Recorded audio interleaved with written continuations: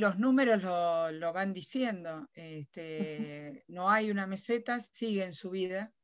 Se esperaba que eh, las restricciones que había dado la provincia con este, la escolaridad, la no concurrencia, la, no presencialidad de las escuelas, y, este, y bueno, y ahora esta restricción que empezara a notarse, pero todavía sigue en ascenso. Con esta restricción más, más marcada, eh, debería empezar a bajar la semana que viene. Yo lo que sí creo que hasta el 30 no es suficiente.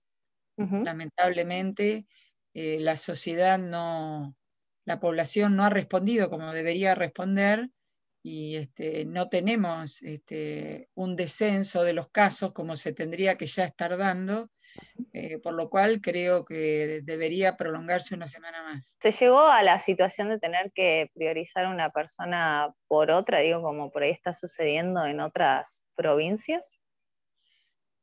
No, se ha llegado a la situación de, de que tengan que esperar, esperar para poderlos acomodar, o sea, que quedan en las ambulancias o que quedan en los consultorios esperando que se habilite porque es como, como un juego de encastre, digamos. Este, este paciente sale de acá, se acomoda la cama para el otro que está esperando y ese que sale de ahí tiene que ir a otro lado que a lo mejor este, está todavía ocupado, entonces, bueno, todo eso al estar todo tan saturado va ralentizando la, movilidad de, la gente de un lugar al otro. ¿Qué piensas, qué pensás, mejor dicho, Mirta, que podría llegar a suceder en los próximos días, en las próximas semanas, si estos números no descienden? Y este, si ahora está desbordado el equipo de salud con la demanda que hay, eh, saquemos nuestras propias conclusiones.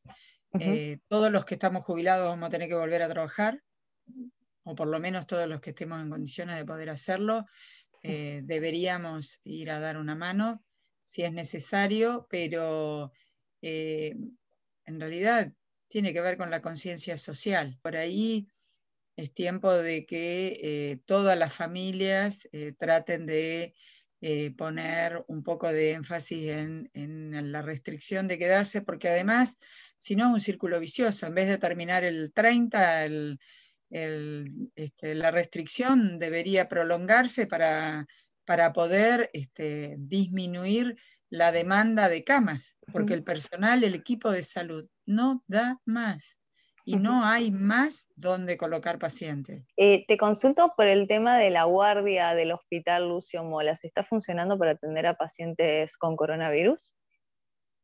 todo está para pacientes con coronavirus, ¿sí? Sí, sí, sí, por supuesto. ¿Y, se, tienen los materiales, los insumos adecuados para poder atender e, en, esos espacios que por el momento no estaban preparados para atender a pacientes con coronavirus? Y lo que pasa es que en este momento se está atendiendo eh, en situación de emergencia. Entonces, este, la calidad habitual no va a estar, porque no hay ni tiempo ni, cantidad de personal para que eh, lo pueda hacer. En el hospital Lucio Molas, en el ingreso, pusieron tubos de oxígeno.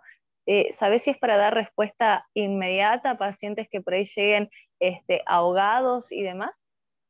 Eh, no lo consulté, pero por lo que vi cómo están colocados, sería esa la, función, mientras que se hace el ingreso del paciente que tenga un soporte de oxígeno.